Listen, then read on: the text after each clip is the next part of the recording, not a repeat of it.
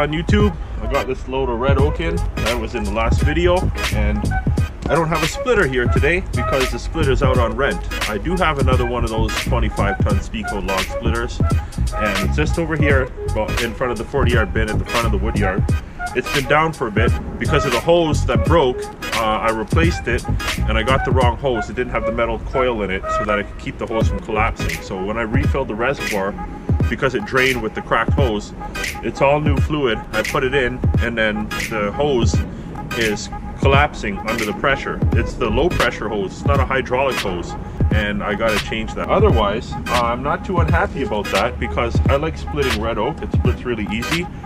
And while I was at the job site picking up all this wood, I took my chainsaw there so I could cut it to length so that, you know, I don't have to cut here and build up the sawdust and then I don't have to depend on the tree cutters to cut the wood to the length that I want. There's a lot of straight wood in here, so it's gonna bust up really easy. I'm gonna have a lot of fun with this and uh, it's a lot of crate wood too. It's all like perfectly straight. So it's for my IBC totes for my customers in the city. So let's get the tire out because the tire is gonna help me buzz through this a lot quicker as well. But anyways, let's get to it. I gotta start over on this side because I gotta clear a path through here. There pretty much is a path right now, so it won't take many to clear a path. So I gotta get that wheelbarrow in the back.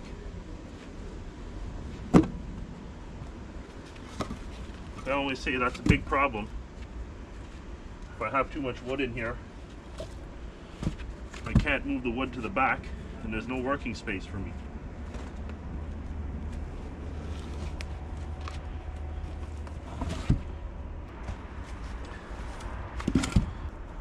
This is to be fun.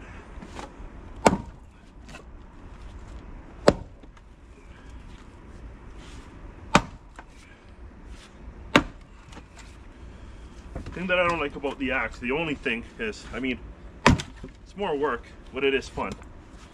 Kind of equals out, but you know, unless you're working to go perfectly accurate, sometimes you don't split it the right way and you make some where you hit it, it cracks it in two, and then you don't want to, that to crack in two.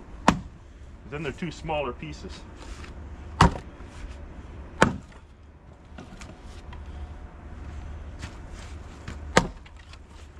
this is fun. Wow.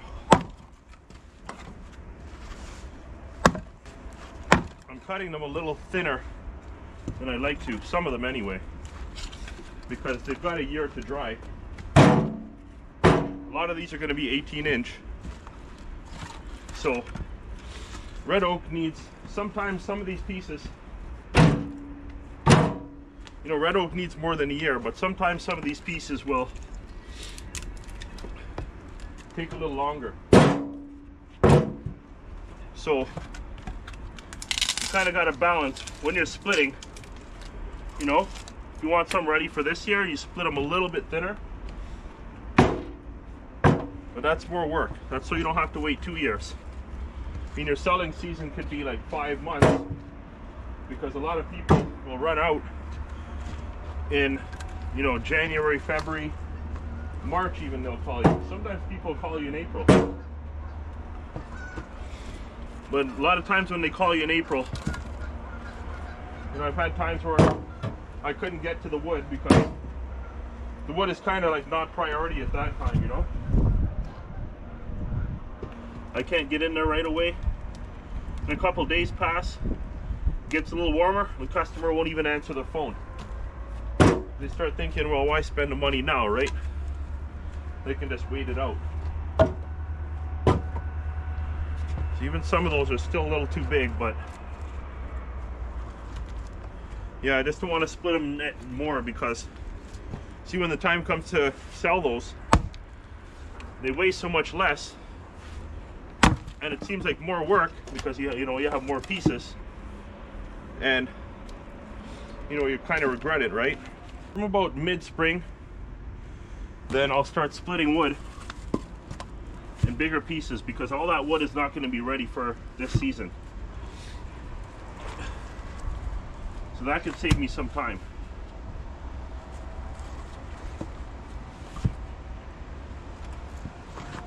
So how many to go. They're all just ready to go. There's only like maybe, I'd say a dozen pieces at most, maybe even eight in here that I, that got a cut.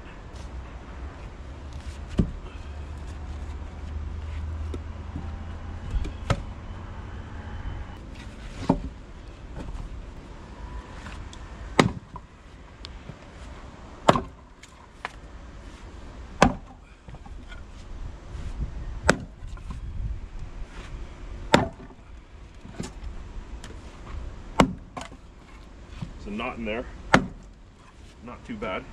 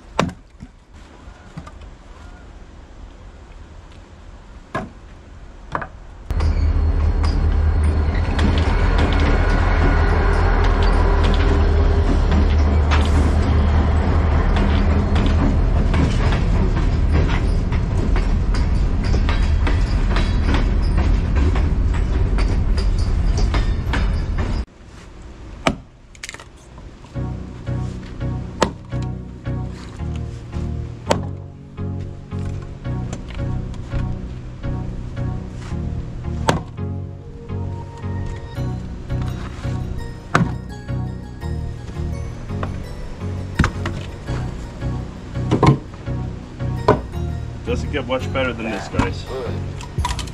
This is a lot faster than my log splitter, and I'm not working on it. I'm not swinging my hardest.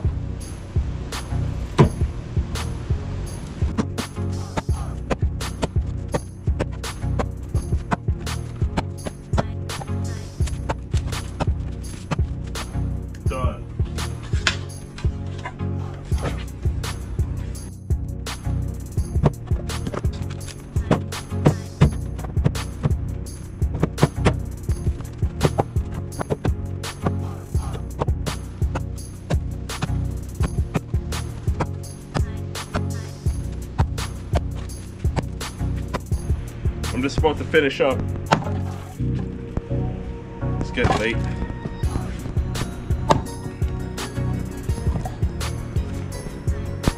I got about half the pile done.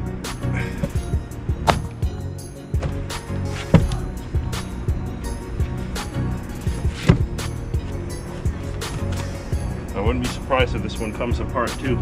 I'll try and drive the axe right down the center.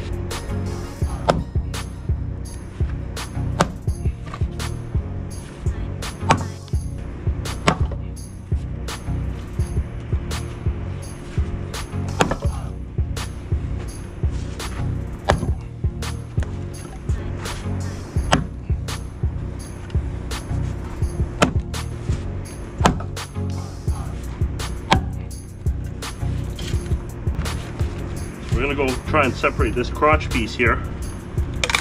Take a look at this.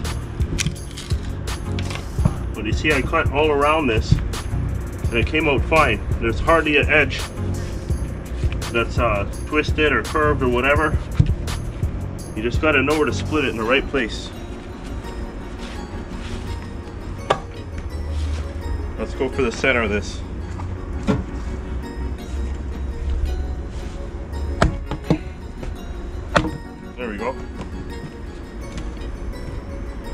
Don't know, something about this, this just looks beautiful to me. It happens a lot when the trees are together like this. You get the two stems. looks really nice in the sugar maple too. That's all she wrote. Anyways guys, thanks for watching. Like, subscribe, share, comment, and all that good stuff.